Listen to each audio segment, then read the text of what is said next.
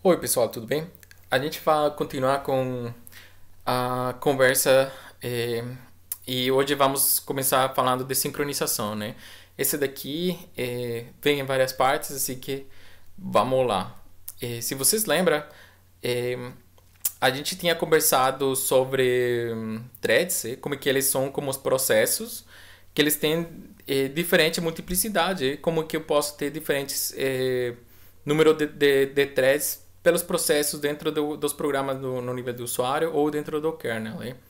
E essa conversa que a gente vai ter agora é sobre o capítulo 5 hein, do livro. Então, é, recomendo que vocês estejam com ela lá e que já tenham dado pelo menos uma pré-leitura para poder acompanhar de um jeito muito mais simples. Que o que a gente vai conversar é, nessa, nessa aula daqui? Vamos falar um pouquinho do, dos problemas reais, quais são os problemas de sincronização que, que acontecem, que aparecem na, dos nossos, eh, no, nas nossas operações. Quais são as operações fundamentais de sincronização quando a gente está falando dela? É?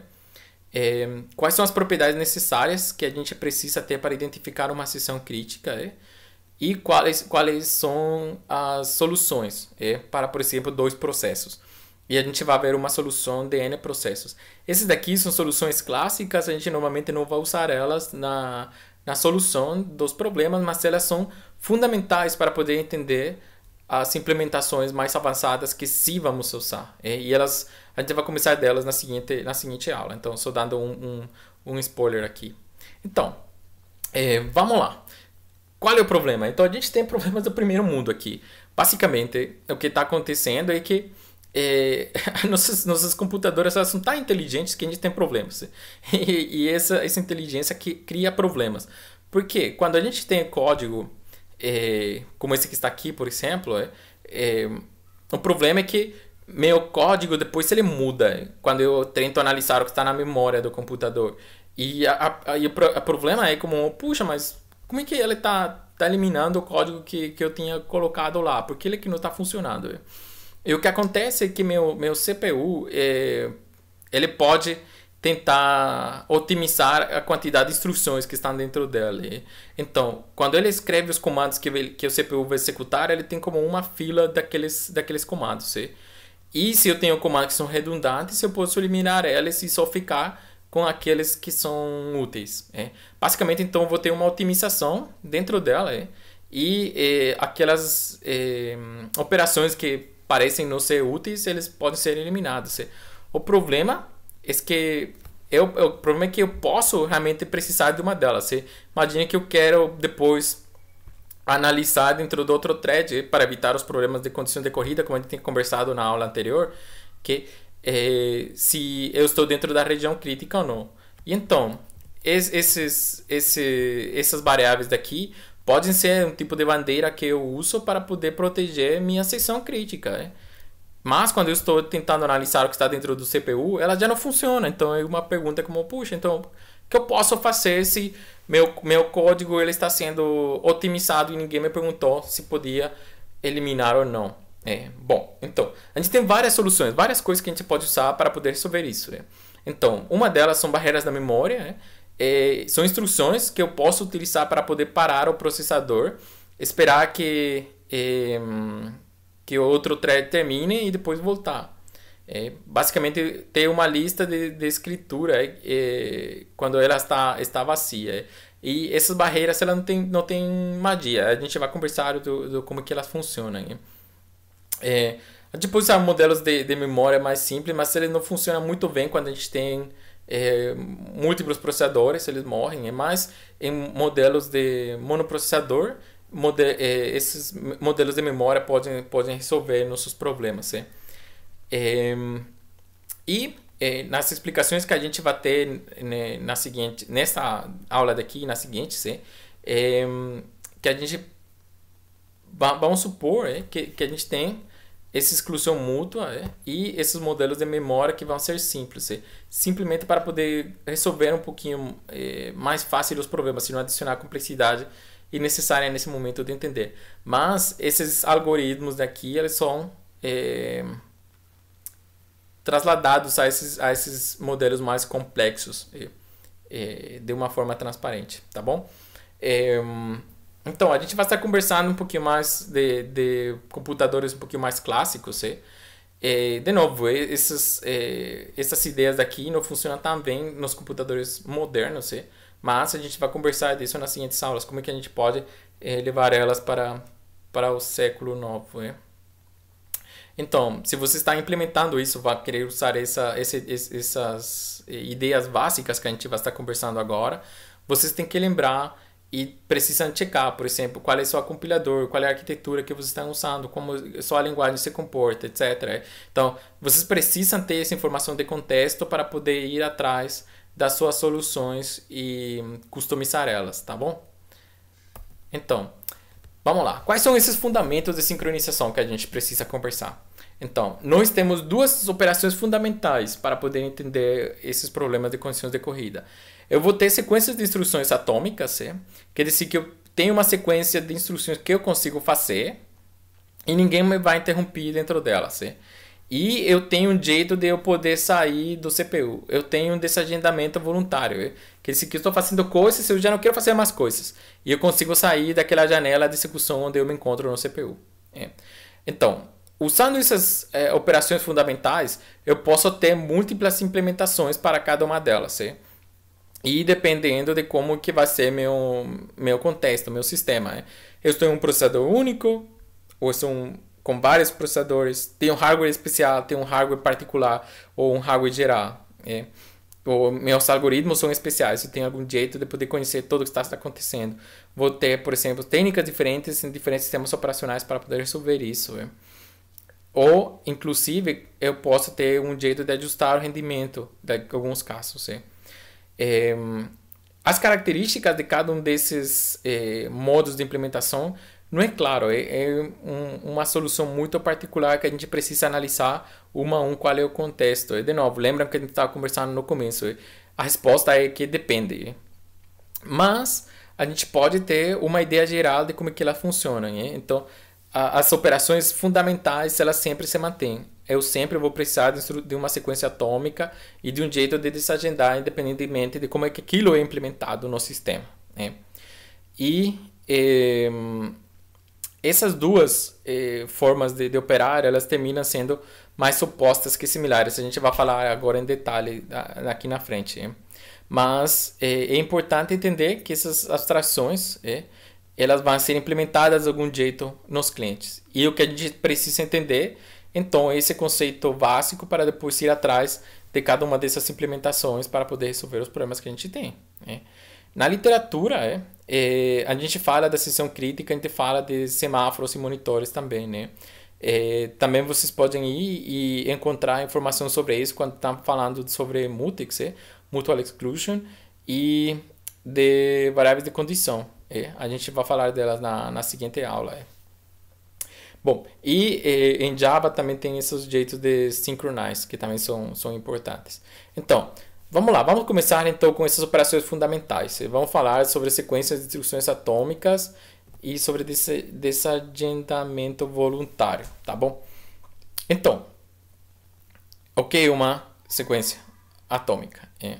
Então, dentro do domínio do problema que, que a gente vai estar trabalhando, é, a gente fala que uma sequência curta de instruções. Eu preciso que sejam poucas para não ter problema de, de, de, de ficar muito tempo com o computador para mim. Né? Porque dentro dessa sequência, ninguém mais pode se entrelaçar. Quer dizer que, de algum jeito, eu bloqueio o sistema, eu bloqueio o computador e ninguém mais pode ir me tirar enquanto eu estou executando aquelas sessões. Né?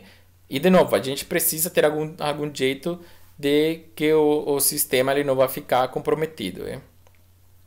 E eh, a ideia então é eu conseguir tirar a competição. Como eu faço para ficar sozinho dentro daquela sessão. Eh, por exemplo, é que, que coisas é, vocês podem falar como que não, não precisam de interferência. Então, quando você tem uma simulação em multiprocessador, pode ser um jogo, é? Então, imagine que vocês têm cada um dos ticks que estão acontecendo. É?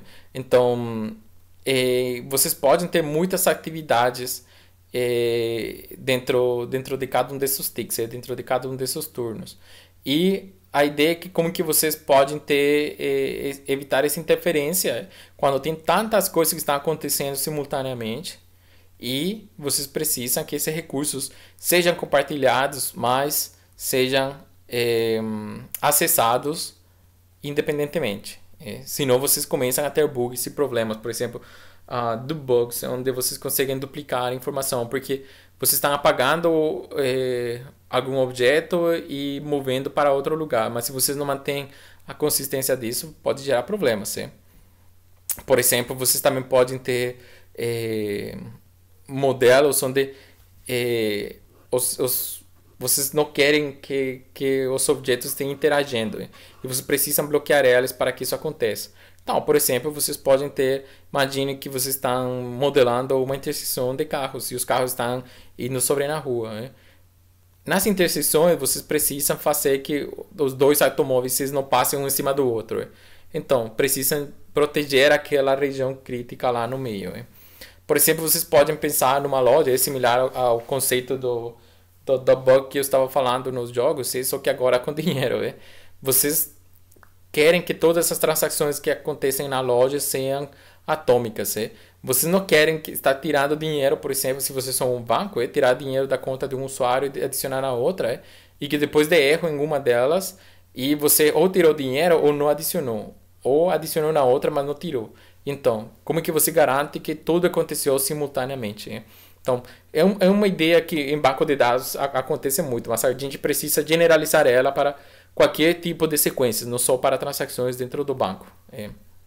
Então, se alguma coisa pode falhar, aquilo vai falhar. Lembre a lei de Murphy para, para, cinco, eh, para os threads. Eh. Então, de novo, eu vou precisar ter um conjunto de instruções pequeno. Então, como ele é pequeno, ele é curto, eu, está bem eu conseguir excluir elas. Eu posso tirar ele do, do CPU e eu ficar dentro para poder resolver o problema o mais rápido possível. Eh. Então, a ideia é que tem uma probabilidade de colisão muito baixa. É. Então, a maior parte do tempo de execução que eu vou estar é, resolvendo meus problemas, ele vai é, ser executado no jeito normal. Quer dizer que eu tenho dois tipos de comportamento dentro do meu, meu programa. É um normal, onde não tem colisões, e um é, com problemas onde acontecem essas colisões. Então, o que eu quero fazer é que esse mecanismo que eu adiciono no meu programa não tenha um overhead muito grande para esse tipo de, de execuções normais. É, de novo, lembrem, um dos meus é, objetivos como sistema operacional é ser transparente e diminuir a carga de administração, de gerenciamento de todos esses, esses sistemas. É. E no caso ruim, eu quero evitar essa colisão e ser é, consistente nela. É.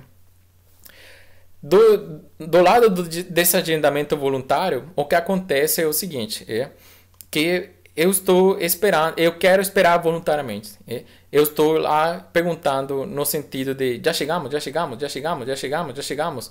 E quando ele chegou, então eu agi. Mas antes disso, eu não, fala, não faria nada. Eu simplesmente ficaria perguntando e esperando que aquilo aconteça. Então, uma ideia disso, se vem bem alto nível, é eu ter, por exemplo, vários loops é, com as condições que eu estou esperando. E o que vai acontecer dentro delas é que eu vou ter como um spin wait. Eu fico esperando dentro desse, de, dentro desse loop. É.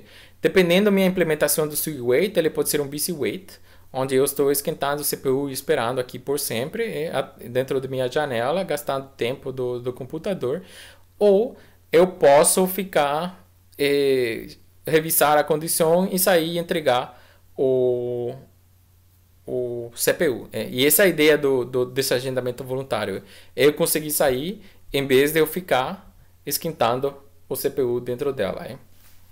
Então, é, as propriedades desse, desse agendamento é, é, que ele é cooperativo no sentido de eu estou entregando é, meu tempo no, no, CPU para outro thread, para outro processo que vai fazer o que eu preciso. É. Então a gente está cooperando e eu não posso avançar porque eu preciso de um recurso que esteja em alguma é, algum estado particular. Em vez de eu continuar, eu vou deixar ele é, fazer as coisas que ele tem que fazer para poder colocar aquele recurso no estado que eu preciso. e depois eu fazer as coisas é, que, para as que eu fui projetado. É. Então, nesse sentido, ele é antiatômico, é porque eu vou querer estar entrelaçado o mais possível, mas não de um jeito aleatório, é de um jeito que foi projetado desde o começo. Então, eu vou me executar, mas é, fazer que outros esperem por mim é ruim. Então, é, é ruim porque se eu estou fazendo um busy wait, eles não, não, não vão conseguir é, avançar e eu não estou pronto ainda. Eu estou ainda esperando aquele recurso.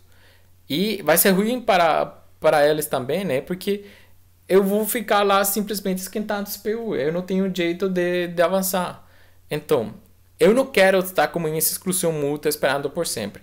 Então, o que eu vou querer fazer é dar, entregar eh, o CPU para que eles se executem e assim eh, eles me servir depois se eu conseguir avançar. É. Nosso padrão de espera nesse desagendamento é uma coisa é, similar ao que vocês estão vendo aqui. A gente tem uma sequência para poder bloquear o mundo, né? quer dizer que ninguém mais vai poder entrar, e eu, eu consigo garantir que eu vou ficar sozinho dentro dessa região daqui. Eu vou e pergunto para o mundo, eu faço um scan dela para ver se a, aquela condição está pronta. Se ela estiver pronta, é, quer dizer que eu não vou continuar nessa, nessa condição, eu posso sair e agora eu tenho é, o, o, mundo bloqueado para mim, eu posso trabalhar naquela secção crítica. É. Se não, eu posso liberar e esperar por aquele evento. E quando eu terminar, eu vou de novo e bloqueio. É. E a ideia é que meu colega, o cara que está trabalhando para mim ou comigo, é, é que ele vai avançar em algum momento, ele vai ter um, as coisas no, no estado pronto. E nesse momento, ele me vai chamar de volta. E é lá que eu consigo eh, continuar, porque eu fiquei preso nesse, nesse, nesse lado daqui. É, um pouquinho mais técnico, o que, que acontece? Então, eu vou ter uma entrada na seção crítica, eu vou ter a seção crítica compartilhada, e é, são aqui, é aqui que mora aquele espaço, então, é, de, de recursos compartilhados. Depois eu posso sair dela.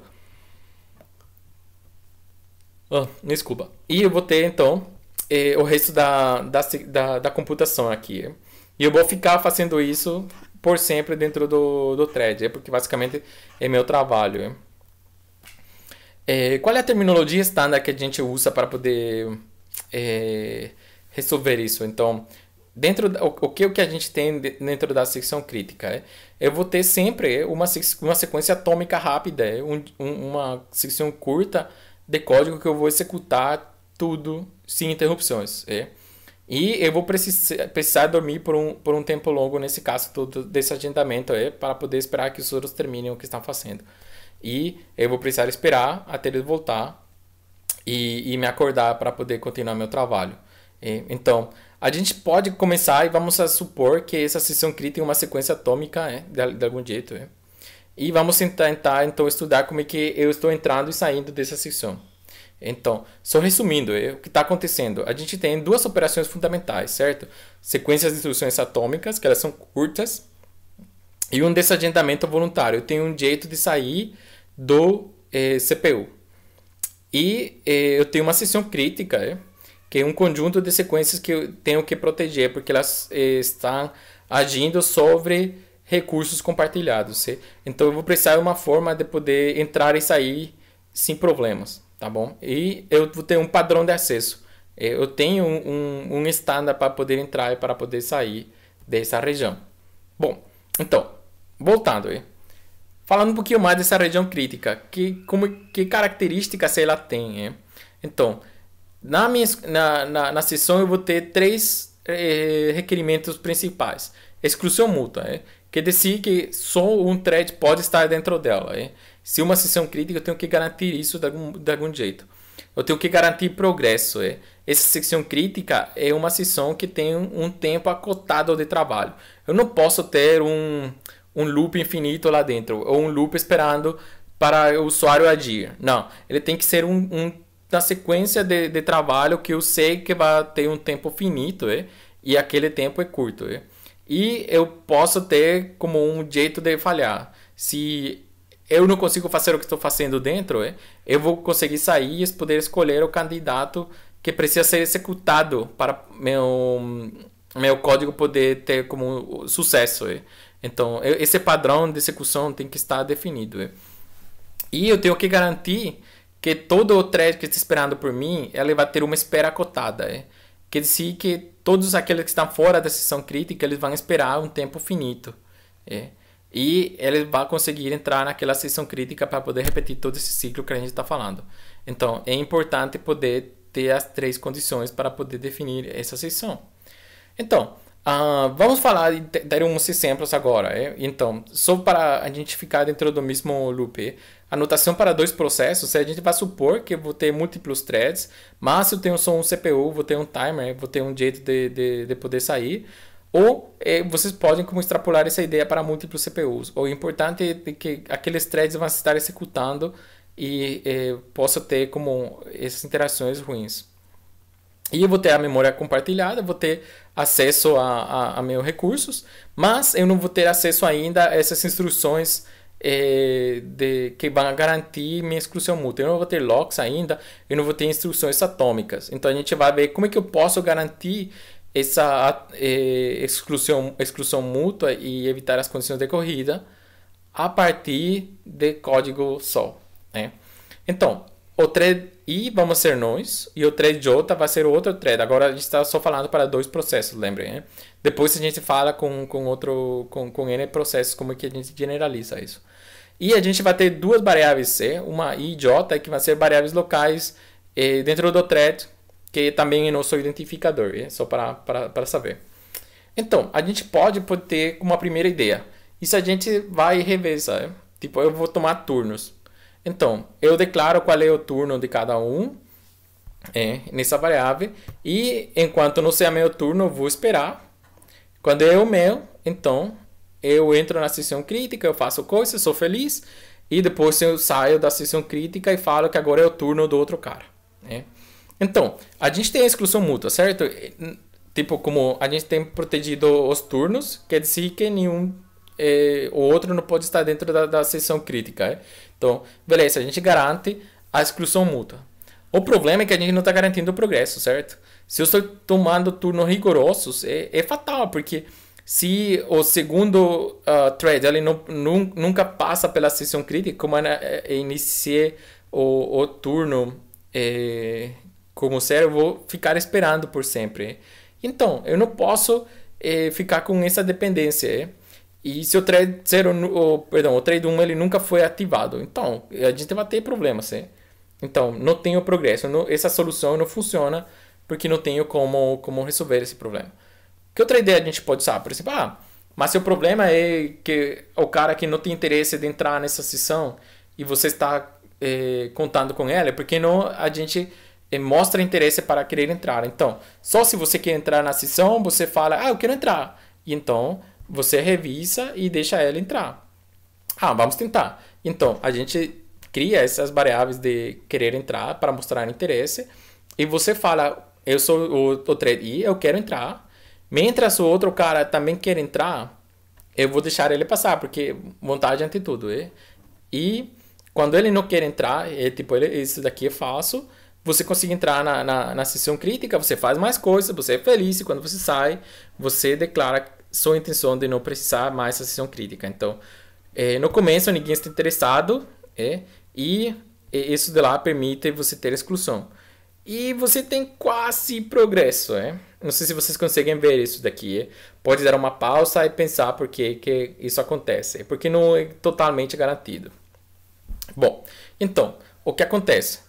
Você pode ter uma eh, exclusão mútua como isso daqui, você é feliz, basicamente. Você fala que você quer, é, ele fa você é, fica esperando, é? você entra na sessão crítica, você sai do, do CPU, o thread 1 entra, e o que vai acontecer aqui é que ele quer declarar que ele tem interesse também.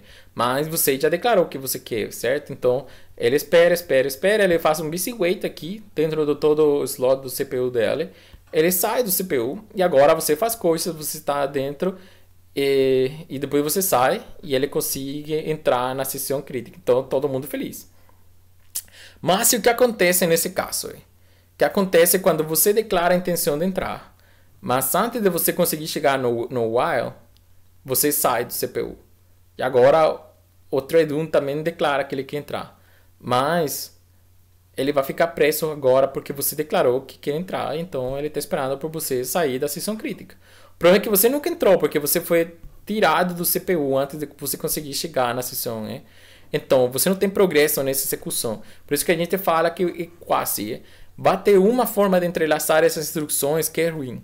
E você vai ser um SAT panda aqui. É? E o pior é um waiting panda, porque não tem como você sair dessa condição. É? Ficaram os dois preços, você está em um deadlock aqui. É? Não tem como continuar a execução de, dessa saída. Então, o Peterson ele vem e propõe uma solução para esse tipo de problemas. Ele fala: bom, o que eu posso fazer é tomar turnos e quando eu precise, é, é, eu vou fazer essa, esse revés daqui. Mas se ninguém quer entrar, eu não preciso tomar turnos. Se só eu sozinho que, que quer entrar, então vou lá e, e vou na frente. Então, o que ele está falando é o seguinte: vamos então declarar se algum dos dois quer e em que turno a gente vai estar se os dois precisamos entrar ou não. Então, quando você eh, começa, você entrega a opção do outro thread poder passar na frente sua. É. De novo, tipo a, a, a, a generosidade ante tudo aqui. E o que você está fazendo então é, se outro cara quer entrar e o turno dela, você espera e você faz um busy wait aqui. Se ele não quer entrar ou não é o turno dela, então você consegue passar e você conseguir executar o que está acontecendo lá dentro. Bom, então a gente pode mostrar que isso daqui realmente é uma exclusão mútua, é? porque, por exemplo, vamos supor o contrário, vamos supor que ela não é uma sessão crítica e os dois estão dentro. É, e vamos tentar encontrar uma contradição. Então, se os dois estão dentro, quer dizer que os dois queriam entrar, certo? Os dois wants são, são verdadeiros. E é, quer dizer que os ciclos terminaram, é porque então o turno delas é, é, era o turno delas, certo? O único jeito de sair desse, desse ciclo daqui é porque não é o turno delas, certo? Não é o turno do, do outro. Então eles conseguiram sair de lá. Agora, o problema é que você não pode ter que o turno é zero ou o turno é um, certo? Porque você não tem uma. A variável tem que ser determinista. Então, ou ela é zero ou ela é um. Então, se ele é zero, quer dizer que o 1 terminou antes, se ele é 1, quer dizer que o 0 terminou certo? Então, algum delas teve que ter terminado antes? E, então, quer dizer que é, um desses turnos é, é o que está seteado. E se um deles está seteado, quer dizer que ele pode, então, estabelecer o turno do outro é, antes de, de outro terminar. É? que dizia então que ele que outro processo não pode ter, ter saído do, do ciclo onde ele ficou preso aqui. É. Então, tipo, uma versão um pouquinho mais simples. Como os dois estão tentando entrar, tanto faz, certo? Esse want aqui é relevante porque a gente está em um estado onde os dois querem entrar. Então, nessa condição daqui, eu só me interesso por esse turno igual a j. É? E então, o que acontece? O que estou tentando olhar é que quando eu tenho os turnos seteados desse jeito, é, e eu fico esperando por esse turno, qualquer tipo de eu entrelaçar essas diferentes maneiras de executar os threads, eles não vão ficar em um deadlock. É. Então, vocês podem parar aqui, olhar os diferentes jeitos de, de entrelaçar eles e comprovar esse tipo de execução. Então, em resumo, o que a gente tem? É, a gente tem é, mostrado que é, se a gente pode mostrar interesse sobre a secção crítica, é um jeito muito mais simples de poder é, entrar e poder acessar a informação. Eu posso tomar turnos para poder utilizá-la, é, para poder agir dentro dela, e a gente tem que manter essa cordialidade. A gente tem que deixar outro processo poder entrar antes para poder garantir que todo mundo está sendo executado. Então, a solução de Peterson ela é fundamental na parte essa, é voluntariamente entregar o passo a outro processo para poder resolver eh, a execução de, entre nós. É. E então, eh, a gente também está vendo que sincronizar é complicado, é um processo complexo que requer é, detalhe. Então, a gente precisa estudar realmente quais são as interações do, do nosso sistema e encontrar um jeito de poder implementar ela. Então, é, continuando, é, a, a generalização desse algoritmo é o que a gente fala do algoritmo da padaria. Então, se eu tenho mais processos, se é mais de dois processos, eu posso generalizar a solução de Peterson. Né? E, basicamente, a ideia é que você vai ter tickets que vão aumentando monotonicamente. Quer dizer, conforme você vai tendo mais processos ou mais threads, você vai entregando mais tickets para cada um delas. Sim?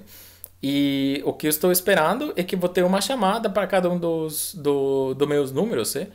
e eu vou ficar esperando até que meu número chegue.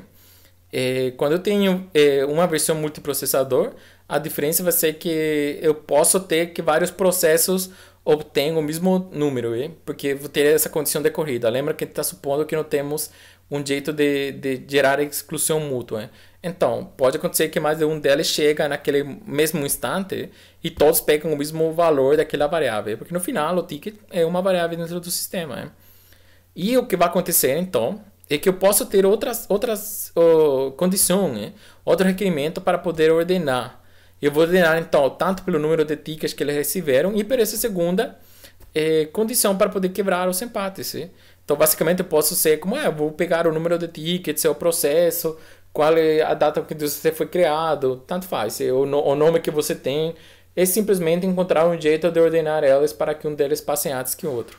Então, esse algoritmo da padaria, em geral, ele vai ser o seguinte. Na fase 1, você escolhe um número, você obtém um número, ou seu ticket, é?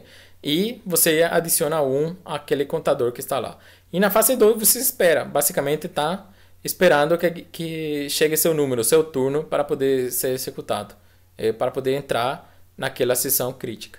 E depois você pega, se você tem um empate, você vai revisa qual é o número de processo é, e, e seu ticket para poder é, passar. Então, basicamente, passa um dos dois, é o que tem o menor número ou maior número, depende de como é que você é, ordenou aquela fila. É.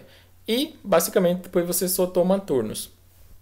É, aqui em seu do código, então, o que você vai fazer é que você está fazendo essa escolha, é, inicializa tudo e depois você vai e se você quer é, escolher, você ativa aqui a seu, seu desejo de fazer aquilo. Sua sessão crítica é pegar o maior número de, de, de todos os números dos processos que estão sendo executados e adicionar um. É, de novo, é o que a gente viu no começo. Você vai ter problemas porque essa região pode ter condições de corrida dentro dela. Sim. Mas no pior caso, todos eles vão escolher o mesmo número. É, tipo no pior jeito de ter entrelaçado isso. E depois você pode fazer é, quebrar o empate, como a gente tinha falado, usando a segunda condição. Né?